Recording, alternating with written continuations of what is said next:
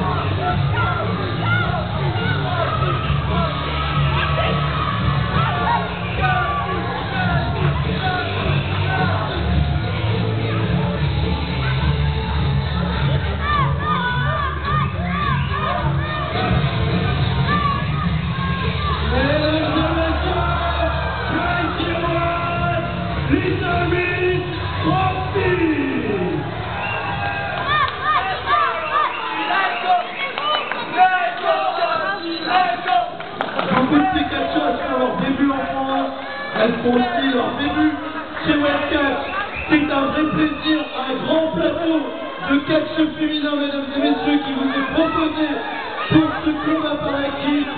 Merci Westcat. Et je pense qu'on va avoir de l'action.